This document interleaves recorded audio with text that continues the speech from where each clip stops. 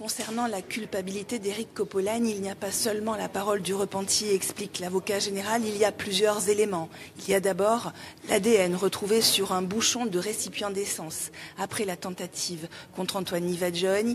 Il y a ensuite les nombreuses visites au domicile de Jacques Santeuil, chef présumé du petit bar avant l'assassinat d'Antoine Nivadjogne. Le repenti est-il crédible? Oui, affirme l'avocat général, il commence par entonner le même refrain que ses anciens amis, puis il craque, il donne des détails, les préparatifs de l'ombre de cet assassinat dans un monde silencieux. Il recueille les confidences d'Éric Coppolagne qui lui dit avoir tiré sur Antoine Nivadjogne. À l'encontre d'Éric Coppolagne, je vous demande de confirmer la peine prononcée en première instance, à savoir 30 ans de prison.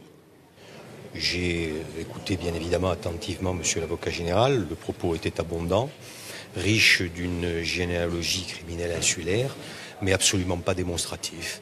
Et j'espère que euh, la Cour euh, pourra être euh, attentive aux explications que la défense va, dans les heures qui suivent, apporter.